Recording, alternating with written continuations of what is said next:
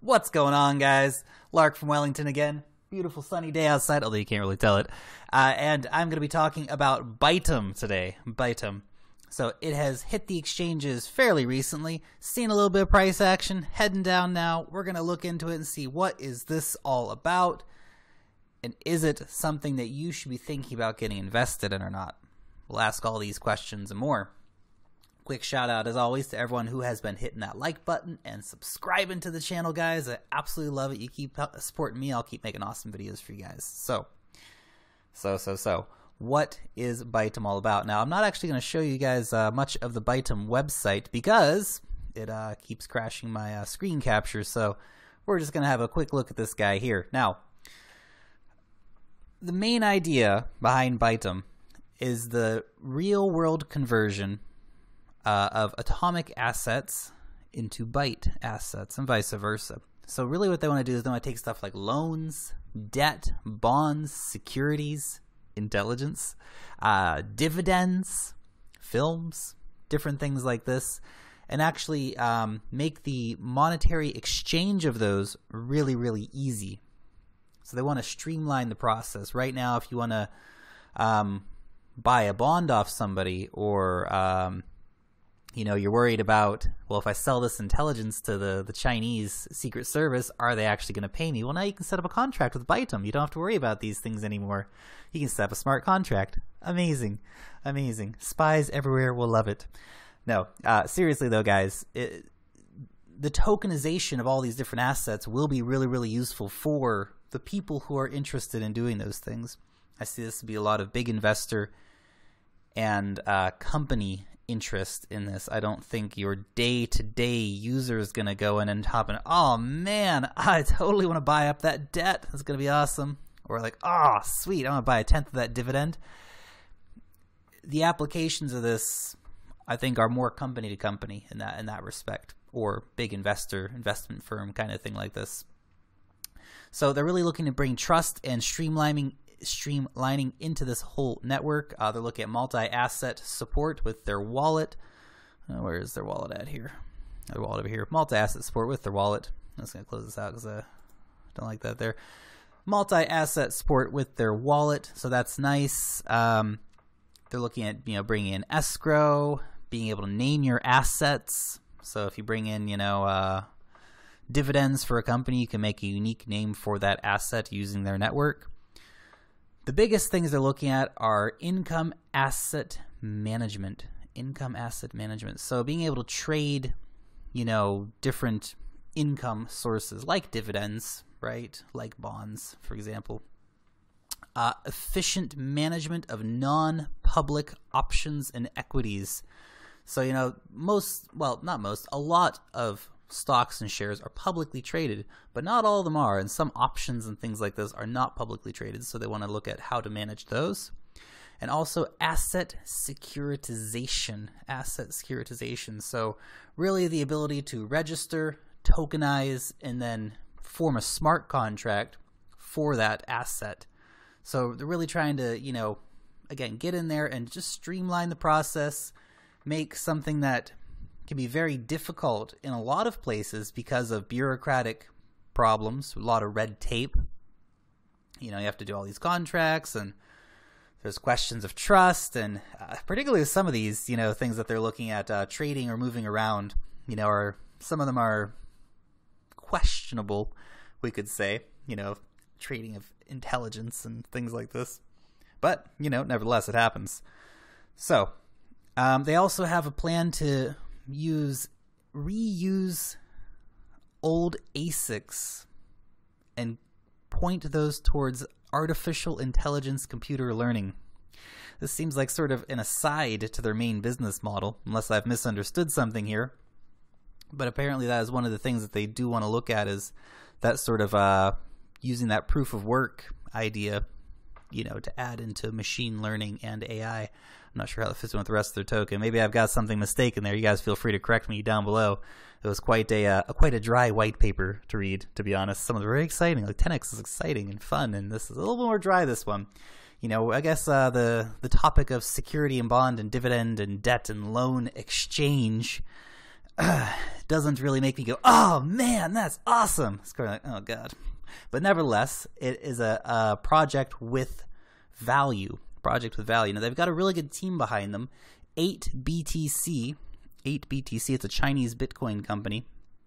They've been one of the biggest drivers of this and you'll find a lot of uh, team members from 8BTC involved. You have people from Tencent and Alipay and Parity and OKCoin involved, but the main guy who's been pushing it is uh, the founder of 8BTC, actually. Now, the team's quite small at the moment, so, you know, they do need to add some more people in order to make this thing actually come to life.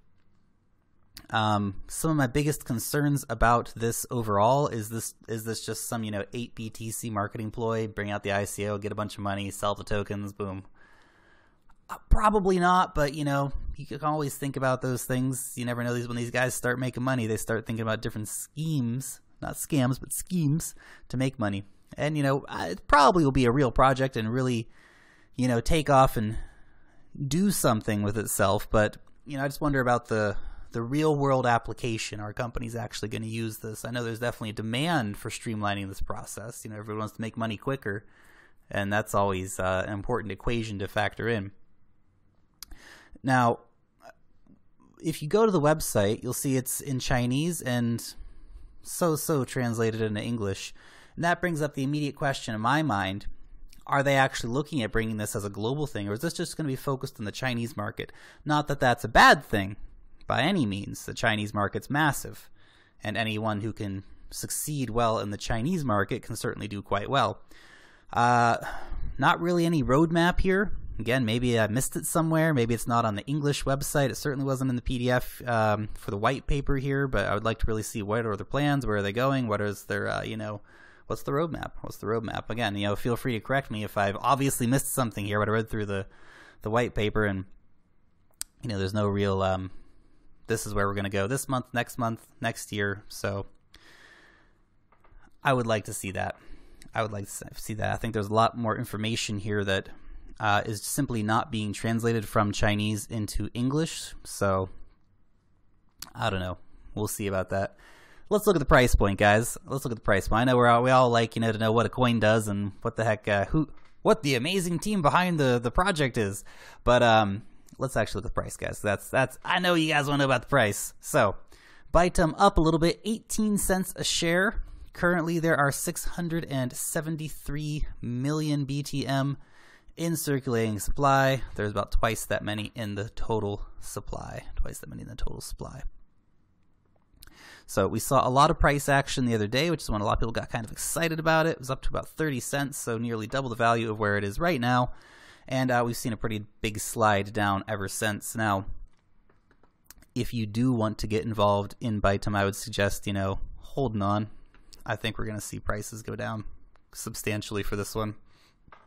So do keep an eye out for a lower buy-in.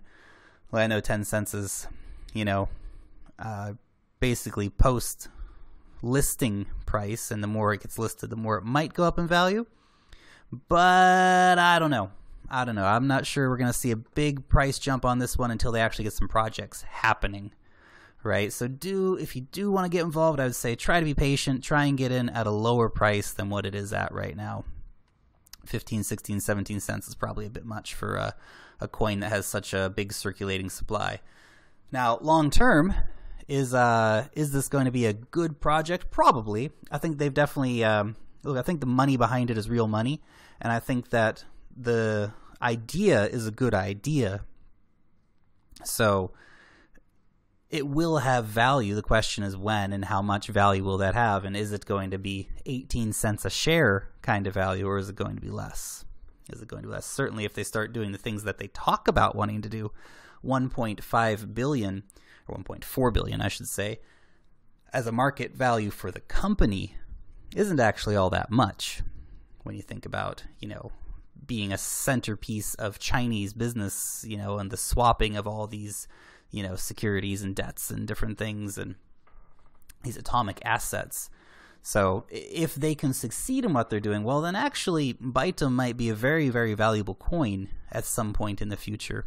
But, um, you know, why not pick it up for less if you can? If you do want to go pick some up, you guys can always hit Binance up. Binance is trading it for Ethereum or uh, BTER or Juby, but uh, Binance, of course, you know, nice user friendly website. Uh, and one of our, you know, coin reviews of the week, old Binance. So, anyway, guys, let me know what you think about Bytom. You know, have you gone out and bought yourself, uh, you know, a few hundred of them? You gonna hold on to it long term, or are you looking for some, you know, trying to get out at 50 cents or something like that? Have I missed anything? As always, you know, correct me down below if uh, if I missed some uh, big glaring thing that makes this the awesomest uh, coin ever. Uh, you know, again, full disclosure, I'm not going to be investing in this one. You know, you guys keep giving me these coins to review, and I keep trying to get to them, to keep trying to review stuff for you guys. And you know, I like the project, um, but it's not for me. Not for me this one. But let me know what you guys think. Are you investing? Did you invest? Are you gonna invest? Hit me up in the comment section down below, guys. That's all from the Crypto Lark, guys. Long live the blockchain, and peace out till next time.